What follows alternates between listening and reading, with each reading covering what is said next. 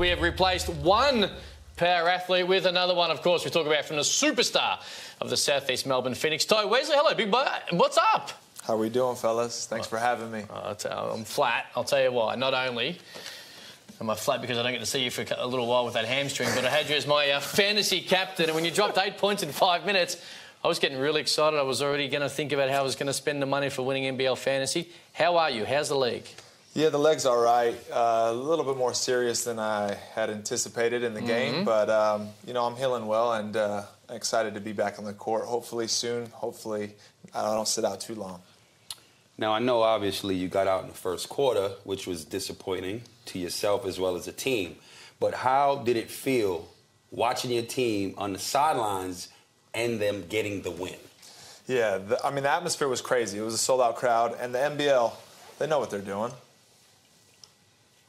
They, you know, they they set this matchup up knowing that it, would be a big draw, and so to get out there in, in front of a sold out crowd, my old team, and to win, you know, there's nothing better than that. You, know, you obviously played in front of, at this stadium, of course, for Melbourne United in front of big crowds before. But anytime there's a crosstown rivalry, see, well, the little and one, but that was probably essentially, unfortunately, the end for a little while for Tai Wesley. But in that stadium with the vibe and the atmosphere around the two Melbourne teams, is it, a little bit different to what you traditionally felt when you're playing for Melbourne United in front of big crowds? Yeah, different in the fact that most of, most of the fans were going for the other team. I'm not used to that. um, but there were there was a lot of positive signs you know, and a lot of noise for for us when we made some good plays. So that was exciting. Hopefully, we stole some of their fans, and and we'll see them at our home game. so look. I'm right now. I know we're looking at these highlights, and um, it was they're, they're, incredible. You know, this this point guard of yours, man. Talk to us about Roberson hitting these big shots. So. I talked to him today. He, he wanted me to make sure that you guys corrected his name. His name is Roberson. Okay. Roberson? Okay. Yeah, so that's the first thing he wants everybody to know. Okay. Second thing, you better know that he can shoot the ball. hey, we know that. We know okay. that. We know that. you know, he wants to put the league on notice because he's he can go. 28 points for Mitch Creek as well. And if there's been a downfall in his game, or at least a weakness, it's been his outside jump shot. Four or five from the three-point line. We see a couple there. One on a pull-up three that he's dribbled down and jacked it, which we've never seen before. And then, of course, the two clutch threes late. That now, there is a slight concern about him hitting that because I think that's the one reason he might not be in the NBA. If he proves he's got the range on a regular basis. Hey, let's not talk about him leaving oh. the Phoenix, all right? Mitch Creek is he played a phenomenal game he, he and, and he's a complete player. Yeah. You can't you can't and, and that's what makes him so hard to guard. You can't if you scoot up on him, he's going to go by you. He's physical, he can get you in the post. And now that he's hitting that shot, he's going to be unguardable. Was he headbutting people at training today? Because I see an Instagram post of him and a training dude with bloodied, bloodied eyes. You know, these two guys were trying to kiss and they got too close and, and, and broke each other's faces. So. You, know what's interesting to me? I'm looking over your resume, right? A lot of people may not know. One, I respect you so much because the way you go about your business on a nightly basis, I had to do research on you. First of all, we've never been on this panel and actually had a player on the panel, with me here at least. So for you to be here is a joy, to be honest with you, right? So I had to check out, do my research on you.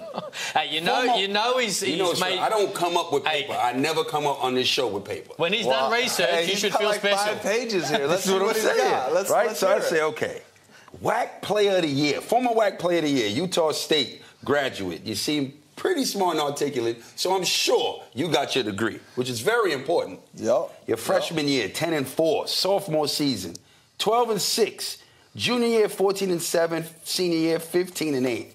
You got better each year. And that's exactly what you want to see your student athlete do every year. Then you go to the Netherlands, you know. You worked out for Minnesota as well. Yeah. Then you went to France. Then you went back to the Netherlands. Then you hit the NBL. I love when someone tells someone else the Breakers story. two years in a row, then United twice, and New Zealand again, then the Melbourne, the Phoenix, and in the offseason you play New Zealand NBL. Now, looking at this, when you hit the NBL, do you realize United has always been your arch rivals? Uh, well, that is crazy. I know now. yeah, man, this is very impressive. This is what nine years of playing pro. Yeah, yeah, very, very fortunate, you know, I'm blessed. Talk to me about the mindset, because, you know, one side of it, you've been an import. Okay, we know. Well, I know, but a lot of people don't really understand the mindset of an import. And what's impressed me even more is that now, you know, for, for four or five seasons, you were local. Mm-hmm. You know what I mean? But your mindset didn't change. You know, a lot of times guys, they get relaxed. They take their foot off the brake, so to speak, if you have an opportunity to be a local because there's less pressure on you. If losing goes down, it's usually looked at and the import is the blame. Talk to me about the mindset when you were an import and how it carried over to you as when you played as a local. Well, like you said, you, losses you get blamed for. And when it comes down to winning time, you go to your imports. You know, you go to your bread and butter. And so to, to come in as a local, that was a, a luxury I really enjoyed, but I didn't want to get comfortable. And that's, I think, why I left New Zealand the first time. You know, I was I enjoyed my time. We won a championship. The second year, we went to the grand final and lost to Perth. But I was playing. I was coming off the bench behind a legend in Mik- Mika Vukona and I didn't want to stay comfortable and be a backup. I wanted to grow and I wanted to challenge myself, and I wanted to be a starter. And as a local starter, I thought that would be a, a, a good achievement. And fortunately, I, I, was a local for the first five years, and now this year I got I got a contract as an import, and I'm proud of that. That is big... dope. That is that's not easy to do. It, no, it's not. I agree. That is not easy to do. That's why he's the grown man. I always joked about it. People looked at it as a joke, but I was dead serious. You play the game like you got a family to feed. Like every possession, I'm gonna make you feel it on offense and on defense. You're not scoring, I'm locking you up, and I'm gonna bust your ass on the other end. That's why he's the grown man. I got nothing but respect. You know what else we love? What else on we this love? show? History. And okay. Sunday, at Melbourne Arena. It's going to be history because Southeast Melbourne Phoenix will play their first ever home game. The Brisbane Bullets are in town and a great opportunity to get there, pack the joint out. They're one and zip on the road with the win last week. But this Sunday, going to be a huge one, of course. Free kids with every paying adult. It's going to be huge. Mitch Creek was outstanding last week. The Bullets we'll get to in a moment. They were great. Nathan Sobey's first half in particular with five threes. But three o'clock, Melbourne Arena this weekend. Make sure you get there. History to be made. Southeast Melbourne Phoenix will play their first home game.